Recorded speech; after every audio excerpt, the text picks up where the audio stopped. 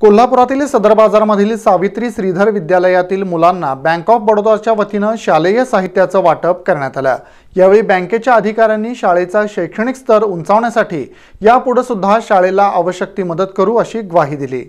Bank of बडोदाच्या एकशे पंधराव्या वर्धापन दिनानिमित्त या उपक्रमाचं आयोजन करण्यात आलं होतं. यावेळी विद्यालयातील पहिली ते चौथीच्या एकशे दहा मुलांना बँकेचे क्षेत्रीय महाप्रबंधक प्रशांत आव्हाड यांच्या हस्ते गणवेशासह शालेय साहित्याचं वाटप करण्यात आलं.